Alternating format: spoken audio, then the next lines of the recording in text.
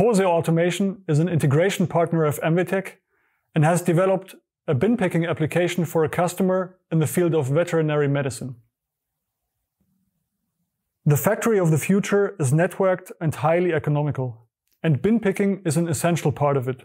In this application, catheters for veterinary use are sorted into a packaging machine.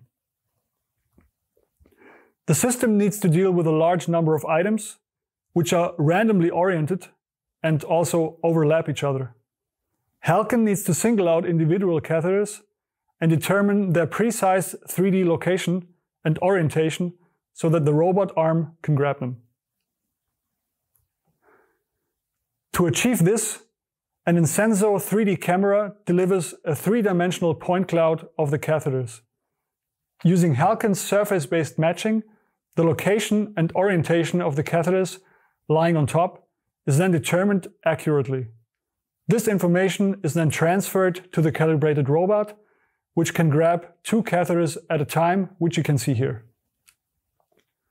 This system for sorting catheters reduces costs, increases productivity, and thanks to the flexibility of Halcon, it can be easily adapted to other items and other industries as well.